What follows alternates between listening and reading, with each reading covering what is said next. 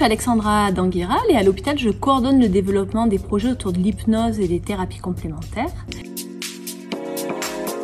Depuis plusieurs années, il y a une réflexion au niveau du centre de la femme pour améliorer le confort des patientes, quels que soient les examens qu'elles réalisent en imagerie.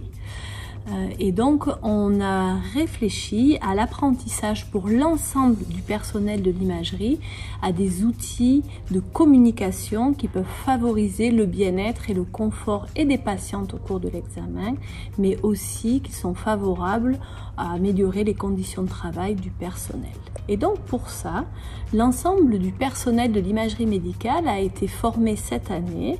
à des techniques de communication hypnotique, que l'on nomme hypnose conversationnelle, qui s'incrémentent dans la prise en charge au quotidien des patientes et qui donc favorisent le confort des patients dans la réalisation des actes d'imagerie au centre de la femme.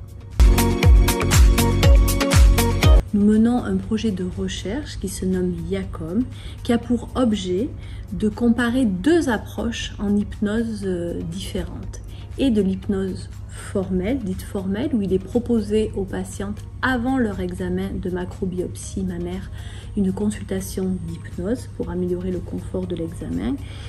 Et l'autre approche hypnotique qui est comparée, c'est l'hypnose conversationnelle où le personnel utilise des techniques hypnotiques au cours des soins.